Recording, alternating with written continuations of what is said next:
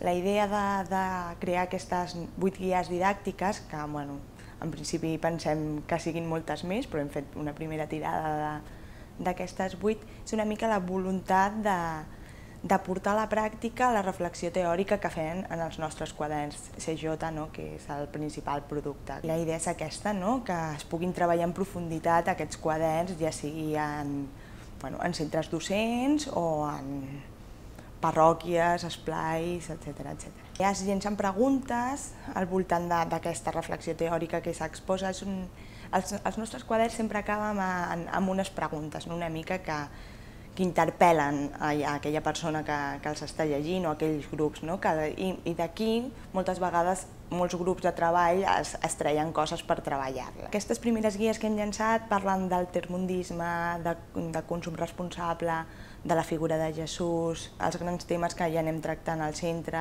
de, de migració, de dones també, de gènere. Llavors, la idea és anar transformant, clar, són més de gairebé 200 quaderns, el proper any farem el quadern número 200, no? són 30 anys d'història, per tant transformar tot això en guies no serà, no serà tasca fàcil, no? I, són un grupet de tres professionals de, de l'educació qui ho està fent, la Maria Sagrario Millán, l'Araceli Caballero i l'Ignasi Flores, que més és l'il·lustrador de les guies.